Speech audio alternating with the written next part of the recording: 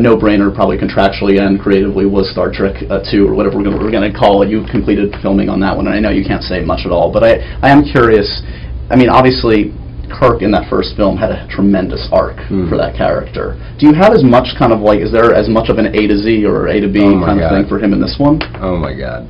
I mean, um, the, yeah, their their scripts are it's deceivingly.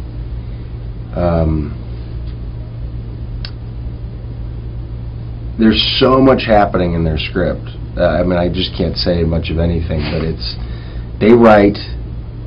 uh, You know, they come from TV lands. All of them do. JJ and Bob and Alex and Damon. They've worked together in the highest pressure situation in television for years. So that that machine is well oiled. Uh, what you also get in that circumstance is it's a constantly evolving Right. beast. The script, the material, how it's going to look, how JJ's going to shoot it. It is there's nothing set in stone, which is tremendously frightening, but also extremely exhilarating, especially when it's like having um, it's like a finely tuned race car. It's like they just know how to do it. Um, and in this kind of constant evolution, the script that they had written just got better and better. And I think what they're so good at is this kind of mythic reinvention. They were very good at writing myth. And these characters, I think, what people will find, I hope, with everybody, is that these characters go on mythic arcs. It's just like big.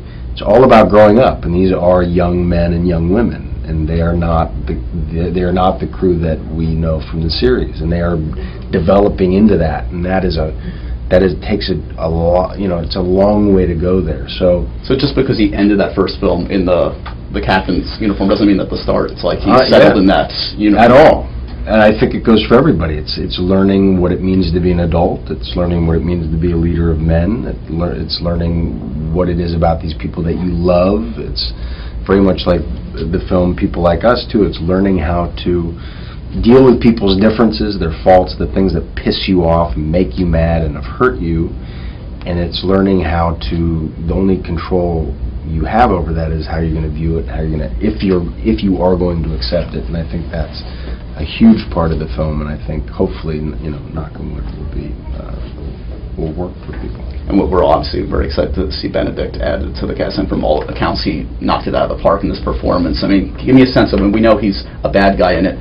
Did you get to kind of play mano a mano him? Is this, is there a very much a Kirk, whatever he is, kind of relationship that's very satisfying for you and will be satisfying to the audience? Yeah, I mean, again, every time you ask me a, a Trek question, I have to frame my answer in a way that I don't want to get a No, phone get it. call late at night.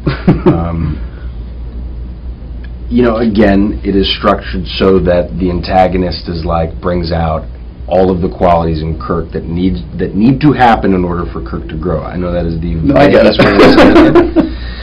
But I mean, as you know from Benedict, just watching him, I mean, you know, and I've said it before, is vocally he's fascinating. He's got this deep, resonant voice. Um, he's got such a he's a fascinating face. He's just this like he's a lovely guy and super, just very smart. And what you want behind, I think, um, a bad guy in any film is intelligence, and you want to see something firing in his brain, so he's not just a you know a Right.